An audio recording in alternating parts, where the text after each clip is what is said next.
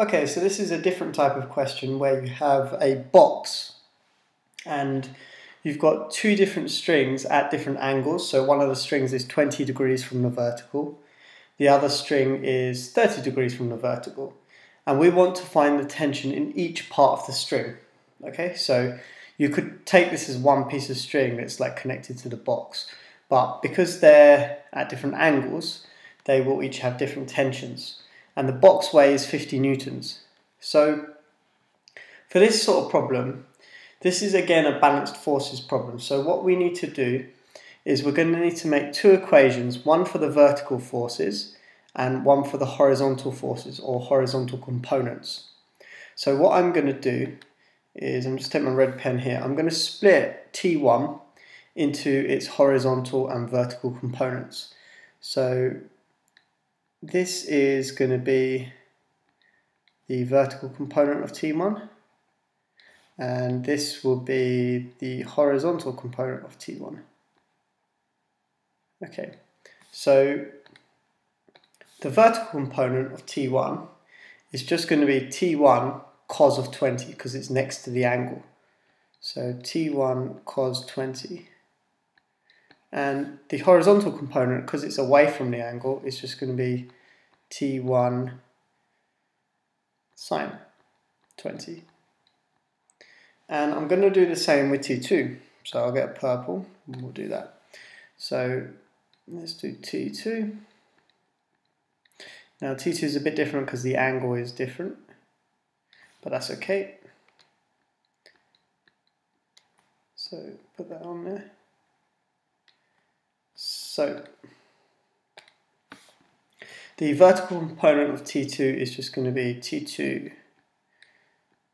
cos 30 again, or cos again, but different angle. And the horizontal component is just going to be T2 sine 30. Now what we're going to do then is now is we're going to set up two equations. We're going to set up the horizontal component and the vertical components in two different equations. So what I'm going to do, let's do the vertical components, okay? So vertical.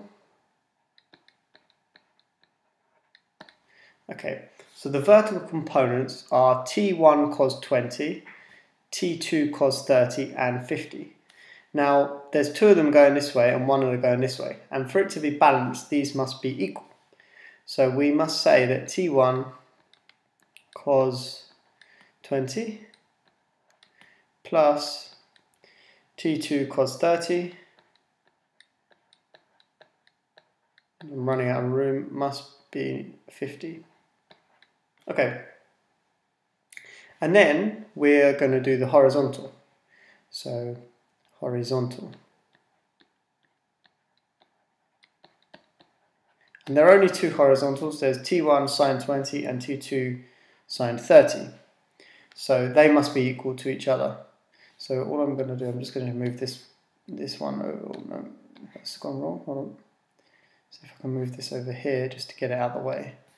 So there we go. So T1 sine 20 must equal T2 sine 30. Okay, now what we've got here is we've got two equations and two unknowns. So you may know that in maths, there's a particular method to solve things when there's two equations and two unknowns. It's called simultaneous equations. So what we have to do is we're going to have to sort of rearrange one of these for either T1 or T2 and plug it in there. So let's have a look at what we can do. Actually, there might be a nicer way of doing this one. What I might be able to do, can we use elimination? Um, we could possibly use elimination. I'm going to use substitution method. So what I'll do is I'll rearrange this one. So we're going to get T1 is T2 sine 30 and I just rearrange for T1 just for ease, it doesn't matter, divided by sine 20. And what I'm going to do, I'm going to plug this one into here. Um, and actually, I've thought of a better way. Um, instead of rearranging, it, I'm going to actually work out what sine 30 and sine 20 are. Apologies, let's do it that way. I think that's easier. So what I'm going to do is I'm going to change these two so I know where they are. So cos of 20 is 0.94. So I'm going to say it's 0.94 to change it so it's 0.94 T1. Now if you're doing this properly what you should do, you shouldn't round, you should use the full value to the end but for space I'm going to have to round. So then I've got cos 30 so t 0.87 t2 so cos 30 is 0.87 um, and then we got sine 20 now if I was being smart here, cos of 30 is it's just a surd value, so you could leave it like that if you're you're quick with the knowing what causes of 30 and sines of 60 and things like that are, you can leave them as surds. But then I'm just going to evaluate this one. So then we've got sine of 20. So then we've got 0 0.34 T1. Sorry, that was equal to 50. And then plus or equals to rather. Equals to so sine 30 is 0.5 okay oh of course. Nice. So 0.5 t2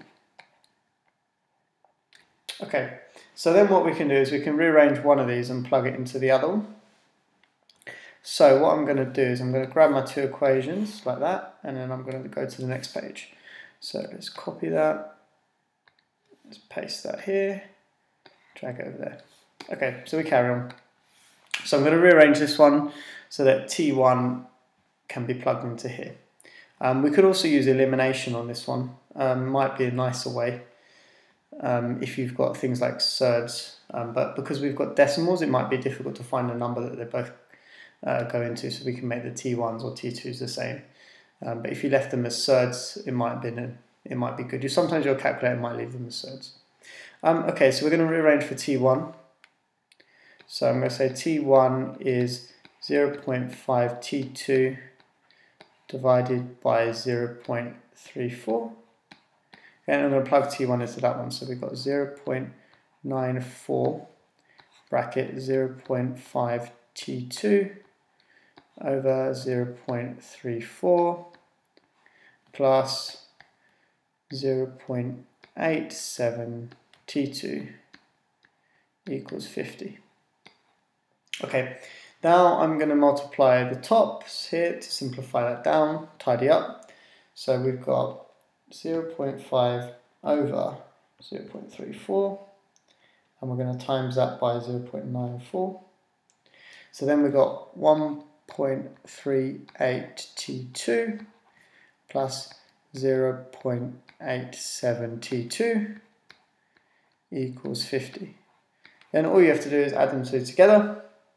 So 1.38 plus 0.87, probably can do this in my head, but it doesn't matter. 2.25T2 equals 50. So rearrange that, so T2 is 50 divided by 2.25